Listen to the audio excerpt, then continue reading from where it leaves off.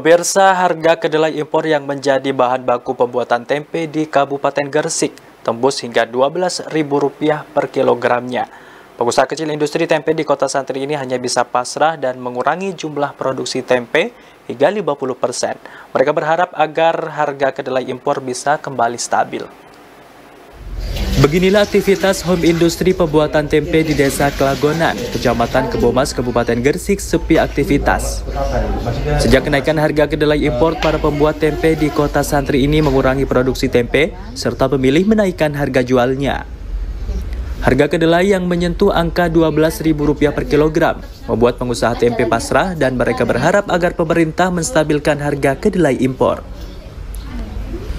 Dewi Aminah, Pemilik usaha tempe mana lagi, asal desa Kelagonan, Kecamatan Kebobas, Kabupaten Gersik tidak bisa membuat banyak. Dia memilih masih memproduksi tempe ketimbang mogok memproduksi seperti produsen tempe lainnya. Meski sudah berjualan secara turun-temurun selama 50 tahun, Dewi Aminah mengaku kenaikan kedelai kali ini paling parah. Beda dengan yang sekarang dari Rp6.000 naik ke Rp8.000, kemudian sampai Rp11.000 hampir Rp12.000. Agar home industri tempenya tetap berjalan, Dewi Aminah memilih mengurangi produksi tempe untuk menaikkan biaya.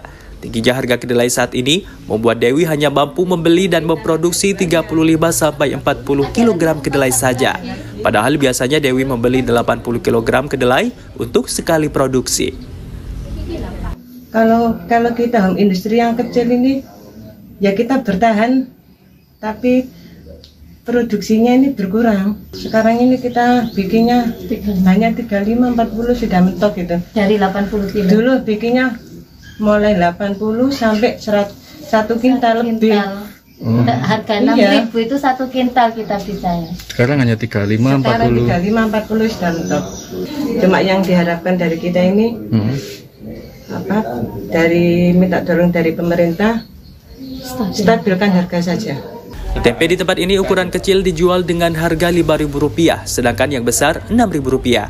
Diketahui sebelumnya pengusaha tempe di desa Kelagonan khususnya di RT 9 cukup banyak.